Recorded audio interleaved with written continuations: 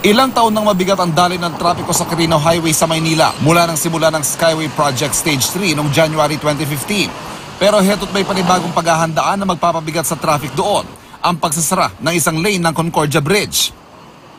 Bukod sa ginagawang Skyway Project, isang tulay na ito sa mga nakatakda ng i-retrofit o patibayan ng istruktura dahil sa kalumaan. Isasara ang magkabilang direksyon ng Concordia Bridge. Apat hanggang anim na buwan magtatagal ang construction. Posibleng mag-increase ng 20% yung pagbigat ng daloy ng trapiko, lalo na dito sa Concordia Bridge. So expect the worst case scenario talaga. Sa westbound lane ng Commonwealth Avenue sa Tandang Sora, sinimula na rin isarang tatlong lanes para sa pagsisimula ng Tandang Sora Station ng MRT-7. Ibig sabihin nito, makakain ng tatlong lane sa bahagi nito ng Commonwealth. Ganito rin ang aasahan sa Regalado Avenue at Commonwealth kung saan may itatayo ring istasyon ng MRT-7.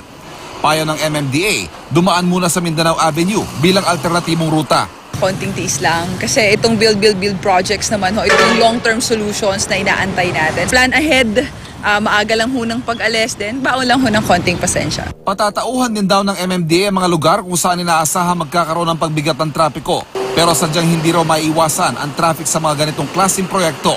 Tanggap naman daw ng ilang motorista ang inaasahang traffic. Para sa lahat naman yan eh, balang araw. So okay Okay lang, oo. okay lang ito kasi pagkatapos naman ito, eh, alam ko may ibsan, man, may ibsan yung traffic dito. Ivan Mayrina, GMA News.